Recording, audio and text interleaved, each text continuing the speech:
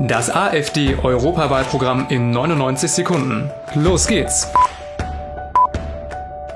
Ein gemeinsamer Wirtschaftsraum mit schlanker Verwaltung. Von der Idee der EU ist wenig übrig geblieben. 44.000 Beamte kosten jedes Jahr 8 Milliarden Euro. Jeder Elfte davon verdient sogar mehr als die deutsche Bundeskanzlerin. Die AfD will Europa und EU wieder ins Gleichgewicht bringen. Wir brauchen ein Europa der Vaterländer, kein regulierungswütiges EU-Parlament oder gar ein Superstaat mit eigener Armee. Nicht anonyme Bürokraten sollen entscheiden, sondern wir Bürger, die mit der Entscheidung leben müssen. Ansonsten muss das Experiment EU als gescheitert betrachtet werden. Eine Rückkehr zu nationalen Währungen könnte die Hälfte aller EU-Probleme auf einen Schlag lösen. Darum Schluss mit der Transferunion und keine deutsche Haftung für EU-Banken. Wir wollen den Mittelstand stärken und funktionierende Industrien erhalten. Strom und Mobilität müssen für alle bezahlbar sein. Deshalb fordern wir einen breiten Energiemix, fairen Wettbewerb und nachvollziehbare Grenzwerte.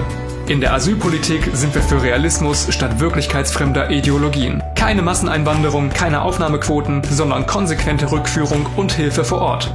Jedes Land soll seine Grenzen kontrollieren dürfen und selbst entscheiden, wen es reinlässt, auch innerhalb der EU.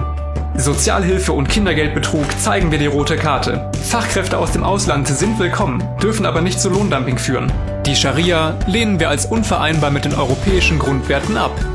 Die demografische Krise wird durch Zuwanderung nicht gelöst, sondern verschärft. Die AfD will Familien und Geburten fördern. Wir wenden uns gegen die Diskriminierung traditioneller Geschlechterrollen und lehnen Gender Mainstreaming als pseudowissenschaftlich ab. Quoten haben an Schulen und Unis genauso wenig verloren wie Zensur, Uploadfilter und DSGVO im Internet.